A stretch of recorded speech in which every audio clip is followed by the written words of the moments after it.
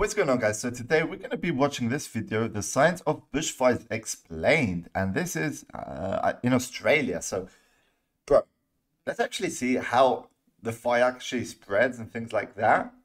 I mean, bushfires are a problem, you know, like it can spread with wind, like bad weather, like mainly wind, I would say. But let's see what else there is. I don't really know.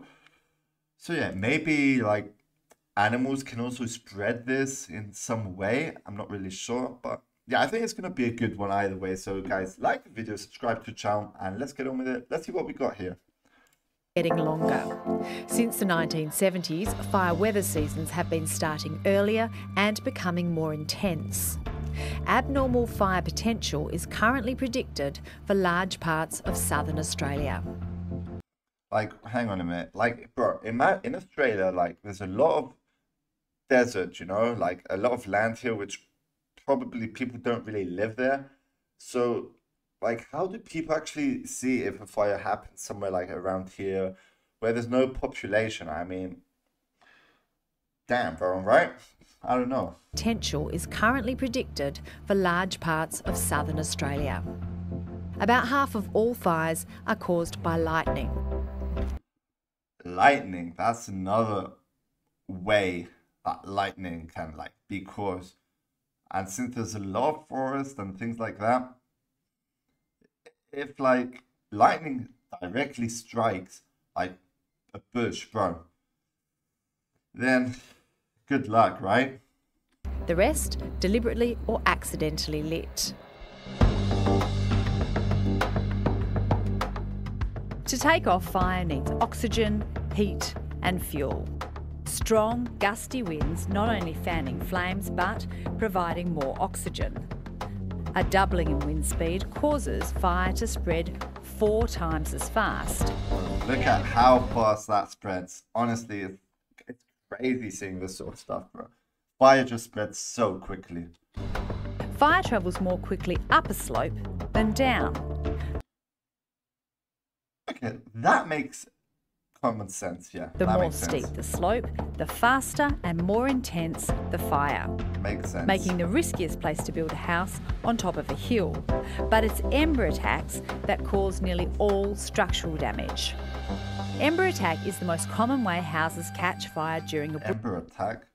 I don't really know what an ember attack is. Hopefully Bushfire. out. Ember attack occurs when small burning twigs, leaves and bark are carried by the wind, landing in and around houses okay. and their gardens. Okay, I see.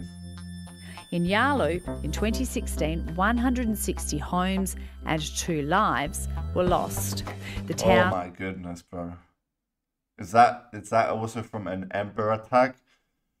Geez, 160 homes. That is that is just like too much, man. Too much. Hit by an ember storm.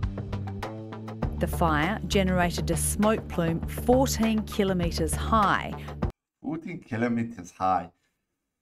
That is that is a lot, bro. That is a lot. Punching into the stratosphere and created its own thunderstorm, generating lightning and sparking really? more fires. Does that actually happen? Eucalyptus trees, which dominate the landscape, can be extremely flammable. Stringy bark can act like a ladder, carrying fire into the canopy and producing masses of embers. Yeah. Their fragrant oil, much like that, that is a bad thing when having fire, wind, these small twigs and stuff, bro. They just fly and literally spread it like crazy. Any oil adds to their flammability. Vines are also great ladders for spreading fire. Just as we did decades ago, firefighting is still done by people. Many of them are volunteers. And as bushfire seasons extend. Yeah, a lot of people do volunteer. Like, they see a fire, bro. They want to save the their land, their houses, the village, everything in general.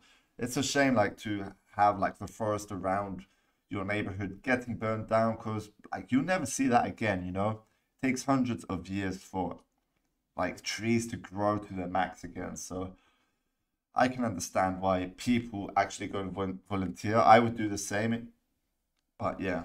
And particularly in fire prone areas, those resources will be further stretched. Wow. What a great video, bro. What a great video. Guys, let me know your thoughts on this in the comments below. I mean, honestly, that was that was something, bro. So fire is it's not a good thing. We all know that.